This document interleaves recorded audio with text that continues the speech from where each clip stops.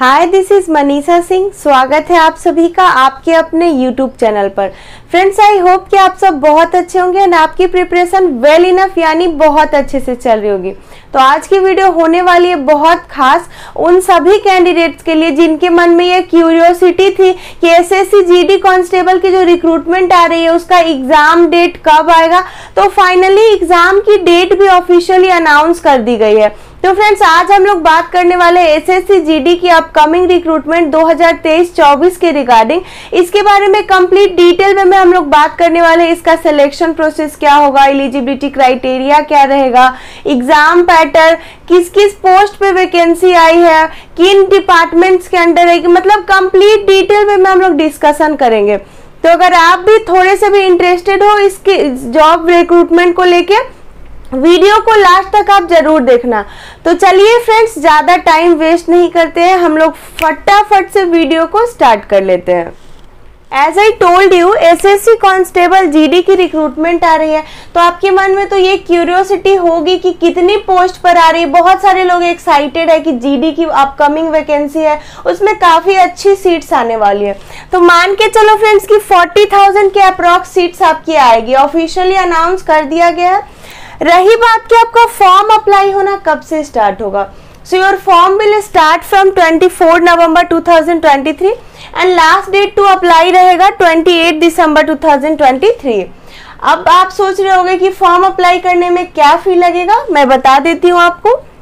General OBC या EW से लिया जाएगा हंड्रेड रुपीज़ वहीं पर अगर आप एस सी कैंडिडेट हो या फिर फीमेल कैंडिडेट हो, आपसे कोई चार्जेस नहीं लिए जाएँगे। एज लिमिट की अगर बात करूँ तो your age will be calculated as on first January 2023 minimum 18 and maximum 23 years relaxation भी मिलता है। ओबीसी को थ्री इयर्स का एस सी को मिल जाएगा फाइव इयर्स का रिलैक्सेशन सो एज लिमिट भी आपके लिए बाधा नहीं बनेगी।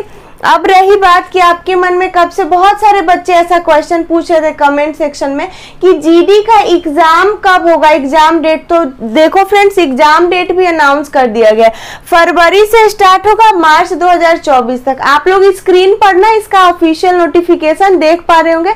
चाहो तो आप स्क्रीन भी ले सकते हो।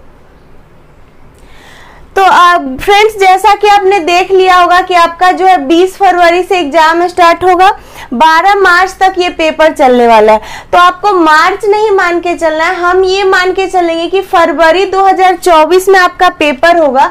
तो आपको अपनी तैयारी की स्पीड ऐसी करनी होगी कि जो फरवरी आपका आएगा, तब तक आपका पूरा सिलेबस वगैरह कंप्लीट हो जाए। आप अच्छे से रिवीजन कर लो। क्योंकि आपको अपने लिए एक सीट अचीव करना है तो इतना आपको करना पड़ेगा। चलिए आगे मैं समझा देती हूँ सिलेक्शन की प्रोसेस क्या रहेगी। Your selection will be dependable on major four stages first of all you have to clear the written exam यहाँ पर फ्रेंड्स आपका ऑनलाइन पेपर होता है कंप्यूटर बेस्ड टेस्ट होगा। उसके बाद होती है आपकी फ़िज़िकल जिसमें PET and PhD physical efficiency test साथ ही साथ फ़िज़िकल स्टैंडर्ड टेस्ट होता है। उसके बाद मेडिकल फिर डीवी यानी डॉक्यूमेंट वेरिफिकेशन उसके बाद आपको आपकी ज्वाइनिंग लेटर दे दी जाती है।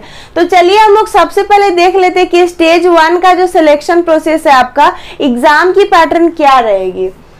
फ्रेंड्स आपके एग्ज़ाम में 80 क्वेश्चंस होंगे 160 मार्क्स के लिए विच मीन्स कि पर क्वेश्चंस मिलेंगे आपको टू मार्क्स टाइम मिलता है सिक्सटी मिनट, यानी वन आवर का आपका रहेगा paper negative marking one by two यानी ज़ीरो पॉइंट फाइव ज़ीरो का आपको निगेटिव मार्किंग देखने को मिलेगा.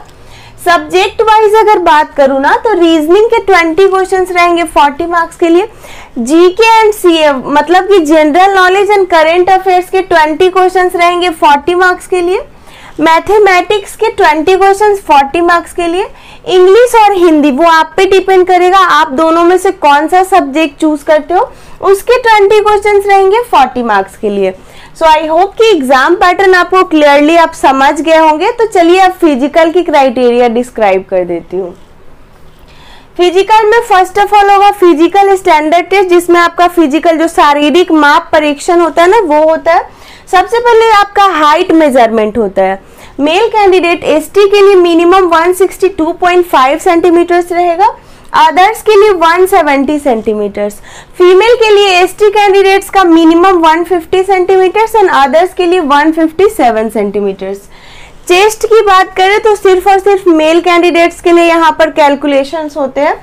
तो एस टी कैंडिडेट्स के लिए 76 टू 81 सेंटीमीटर्स एंड अदर्स के लिए 80 टू 85 सेंटीमीटर्स विच मीन्स कि 5 सेंटीमीटर का ना यहाँ पर एक्सपेंशन खोजा जाता है आपके चेस्ट में। और उसके बाद रनिंग होती है तो मेल कैंडिडेट्स के लिए होती है फाइव किलोमीटर्स की रनिंग जो कि कंप्लीट करना होता है ट्वेंटी फोर मिनट्स में।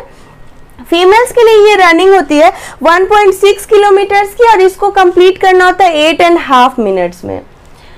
सो फ़िज़िकल की क्राइटेरिया भी आपने समझ लिया तो चलिए अब बता देती हूँ किन किन डिपार्टमेंट्स के अंदर मतलब डिफेंस में बहुत सारे डिपार्टमेंट होते तो किन किन के अंडर आपको जीडी के थ्रू वैकेंसी आती है? चलिए मैं सब आपको समझा देती हूँ।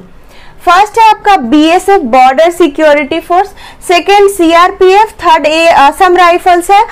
फोर्थ आपका आईटीबीपी फिफ्थ आपका एसएसबी फिर है आपका एनसीबी एसएसएफ और सीआईएसएफ तो फ्रेंड्स ये एट डिपार्टमेंट्स के अंदर वैकेंसी आई है आपकी तो अब मैं बता देती हूँ डिपार्टमेंट वाइज आपको क्या सैलरी मिलने वाला है।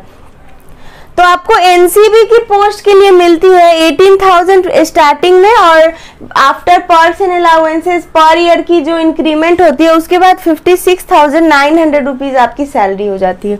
वहीं अगर आप अदर डिपार्टमेंट के अंडर जाते हो ना तो आपकी स्टार्टिंग होती है 21,700 रुपीज़ से। आफ्टर पर ईयर इंक्रीमेंट आपकी सैलरी हो जाती है 69,100 रुपीज़ सो आई होप कि मैंने जो भी कुछ आपको डिटेल बताए हैं एसएससी जीडी के अपकमिंग रिक्रूटमेंट 2023-24 की रिगार्डिंग आप लोग उसको अच्छे से समझ पाए होंगे रिलेट कर पा रहे होंगे।